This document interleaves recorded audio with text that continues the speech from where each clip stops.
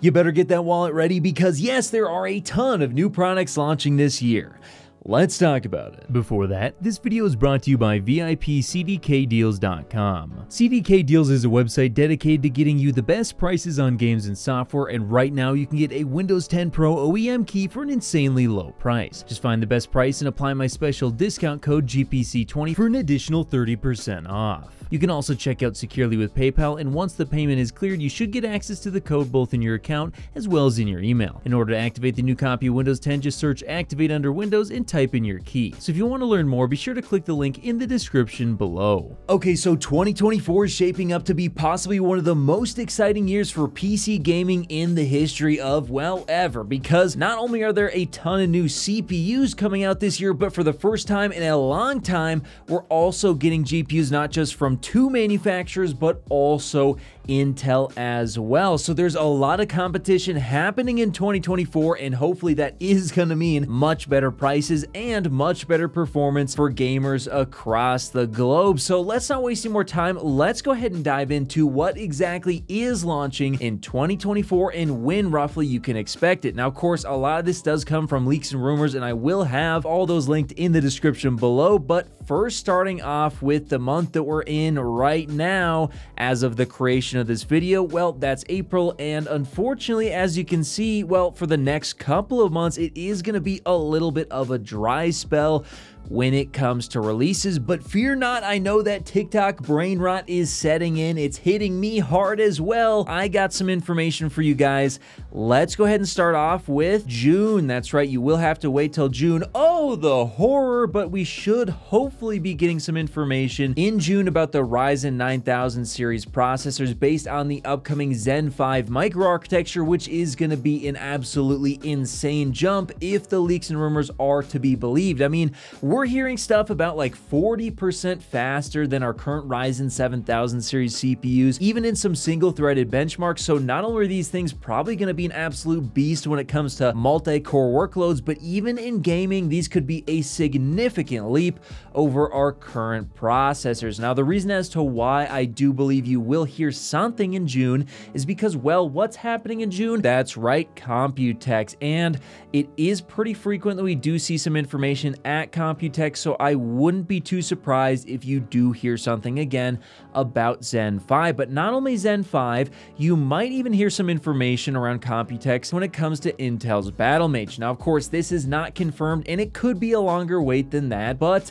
I do think we'll at least hear some murmurs around that time, and hopefully Intel finally comes out and says, yes, Battlemage is on track, and maybe even gives us some very, very rough performance estimates or a rough release window at that time. But speaking of release window, let's go ahead and move on to the next bit of releases. Now, as you can see here in July, you're probably not going to see anything, although maybe you could see something around Ryzen 9000. However, I do think the Ryzen 9000 9950X and 9900X will be releasing in August simply because they are probably going to need at least a month buffer for them to be fully ready. However, I do think they're going to want to get them out in a timely manner before Intel gets their CPUs out to drive the narrative and hype. Now, the reason as to why I think they'll start start with the dual chiplet designs is because, well, they're probably going to want to take advantage of the people who are really, really excited for these processors and try and get as many people as possible to buy CPUs that they maybe don't need at a higher price. We've seen them do it in the past with the X3D processors, and I think it worked. So I think they're going to try and do that again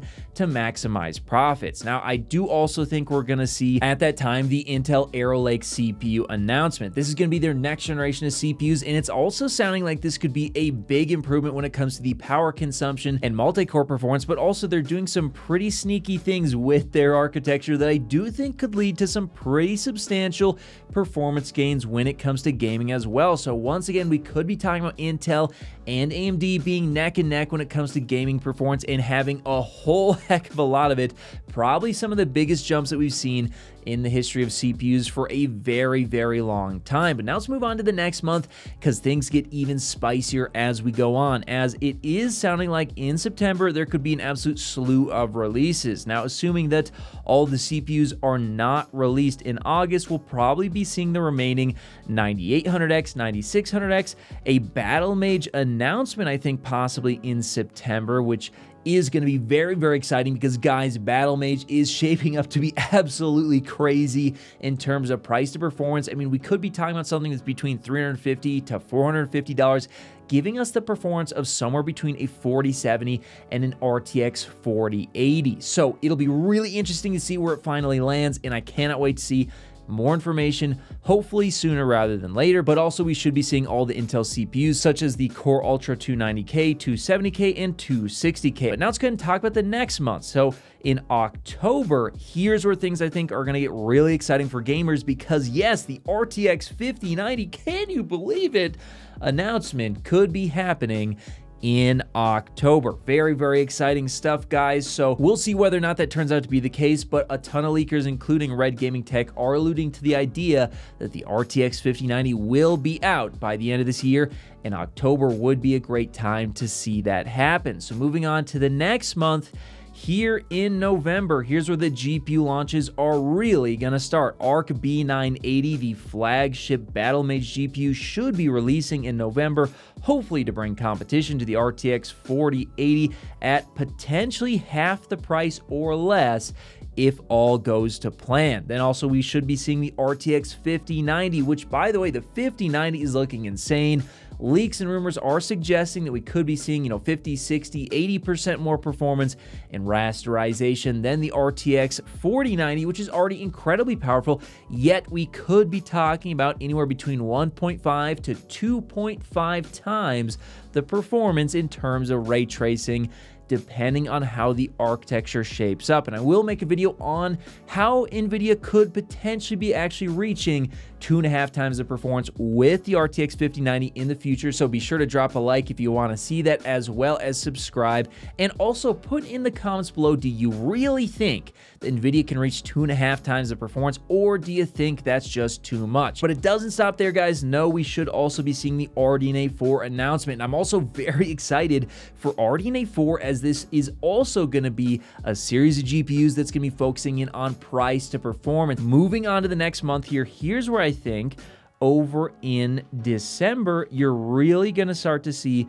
basically the rest of the launches for the year when it comes to GPUs. Although, of course, there will be some trickling in into 2025 as well. But we're talking about this year. Here we should see the Arc B970, which is going to be the cut down B980 Battlemage GPU, the RTX 5080 potentially, if it's not pushed off into quarter one 2025. Then also the RDNA 4 based RX 8800 XT, 8700 XT, and then potentially we could be seeing some information on Zen 5 X3D or Ryzen 9000 X3D. And I think a lot of people are going to be very excited about that, although we could potentially see that get pushed off stuff into quarter one and have them talk about it during CES, as that would be a good time as well. So as you can see, guys, there's a ton of stuff launching this year. Yes, this month and next month, you're probably not going to see a whole lot of information on new stuff. We will see some leaks and stuff like that, of course, but nothing official probably for the next couple of months. But once these couple of months pass, I think you're going to start to see a ton of information coming out from all of these different manufacturers when it comes to graphics and CPUs. And I'm super excited for this stuff, guys, especially considering that games are getting more and more GPU and also now CPU demanding, which has made me feel like, yes, I'm definitely going to need a new CPU for some of these upcoming games, especially if they're not optimizing them well. But yeah, I'm really excited for everything. But what are you guys excited for? Let me know in the comments below. Are you excited for the RTX 5090? Are you excited for RDNA 4? Or maybe even Battlemage or heck, a new CPU? Let me know your guys' thoughts in the comments below. And of course, I'll see you in the next video. If you made it to the end of the video, be sure to drop a like. Every time you do so, AMD and NVIDIA release new GPUs. Also, if you want to see more, check out one of these related videos. You won't be disappointed.